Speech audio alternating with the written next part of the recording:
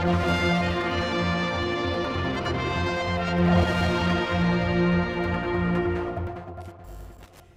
I'm here back at FHO Racing and chatting to the great Mr. Brian McCormack. Uh, what a setup FHO have got here this TT, and Brian has joined them, and it's the bikes are looking superb out on track. Brian, how are they feeling now? Yeah, everything's going really well actually. Um, I've been lucky enough to be with the team all last year in BSB as well, and the aim last year was to be on the roads with FHO, but obviously that didn't happen. So Faye was good enough to keep me on, um, keep me sharp in BSB, and then come and, and do the job on the roads.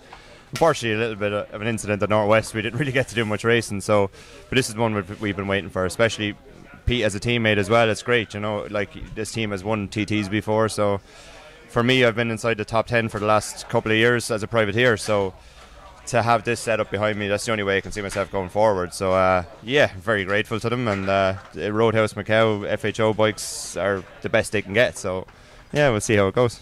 And having a teammate like Hickey and the experience that he's got, it's going to benefit you massively. Does he? Has he been supporting you in that way? Have you been getting some coaching tips off him? Yeah, How's that been working? We've done quite a bit of laps together. Um, mm-hmm. Yeah, what he knows is is, is, is brilliant. You know. Uh, I've been coming here longer, which is worse. uh, so asking a fella who for advice that's coming here less than me is uh, is mad. But look, he's he's world class, and everybody knows that. Between he's done everything: world superbikes, um, world endurance, and he's a top road racer in the world. So you couldn't ask for a better teammate. Um, we get on quite well. We spend a lot of time together as well, so we know each other quite well. So he's not afraid to tell me if I'm if I'm not doing right or whatever. Anyway, so yeah, it's been great. And as I said, this team has won won TTs, won Macau Grand Prix, won Ulsters, won everything. So it's uh, it's the best place to be. But tell us a bit more of that transition from a privateer to racing in the TT with FHO. I mean, for you, the stress must be.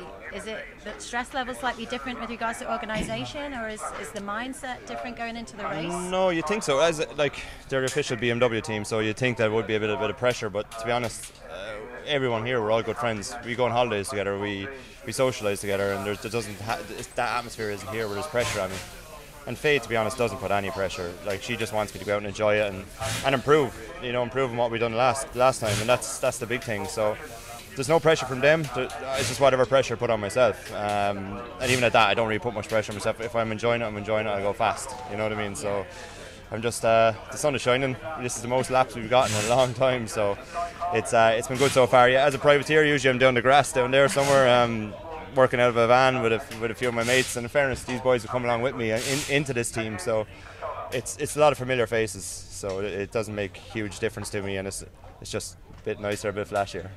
it is. It's definitely flashy. Yeah.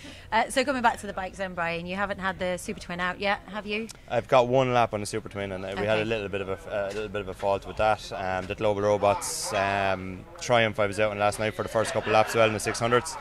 Uh, we got one and a half laps, unfortunately, with the red flag. That actually surprised me. It was the first time on it. We went really, really well. We've um, I've never really done much on a 600 or small bikes here. This is my first time actually riding a twin here as well. So it's uh, it's it's different. I'm not the smallest chap in the world, so it's it's hard to get tucked in. But um, much nicer, much friendlier than these two big beasts. Uh, but yeah, I'm, I'm looking forward to riding all bikes. There's not one bike that I'm not enjoying at the moment. So we just need to sort out a few little things on the super bike, but super stock is ready to rock and roll. So uh, I am quite happy with everything. I was watching you going over Ballaugh Bridge a couple of nights ago, and you were looking smooth. Yeah, I was smooth up until one lap last night where I really overjumped it. I thought it was Ricky Carmichael or something, but uh, yeah, it's been I've been I'm not really the most aggressive rider. I kind of take it as a comment, smooth, smooth as smooth as I can be.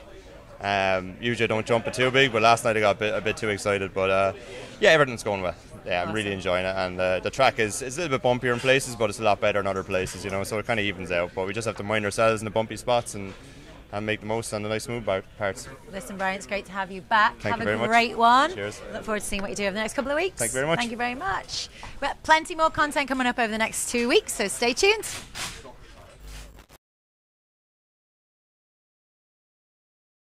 We'll be right back.